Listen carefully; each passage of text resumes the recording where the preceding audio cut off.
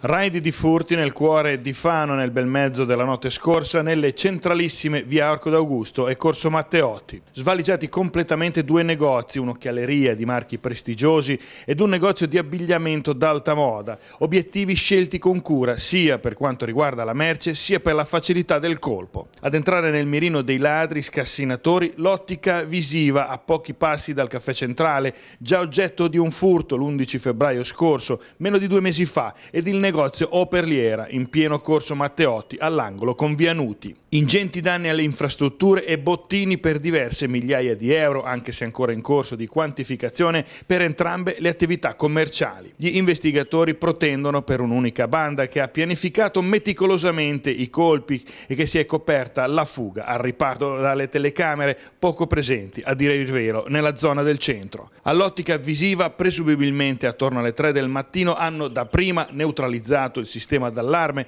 attraverso una schiuma polluterana espansa del tipo usato per gli infissi che è stata sparata dentro la sirena prima di forzare la porta d'ingresso in modo che allo scattare dell'allarme il suono fosse quasi del tutto inavvertibile. E poi una volta tagliata la parte mobile della saracinesca forzare la porta d'ingresso ed arraffare tutte le montature degli espositori e dei cassetti è stato un gioco da ragazzi dentro e fuori in pochi minuti. Stessa sorte da Operliera, lì nemmeno la fatica di neutralizzare l'allarme, un colpo alla serratura della porta d'ingresso nel vico Nonuti e una volta dentro svuotato il negozio di tutti i capi appesi, tranne gli appendini lasciati lì per terra e sugli stendini, quasi a testimoniare il furto avvenuto. Probabilmente questo per utilizzare dei grossi sacchi dove mettere i vestiti già appartenenti alla collezione estiva, quindi molto leggeri. Una manciata di minuti anche qui per poi svanire nel nulla.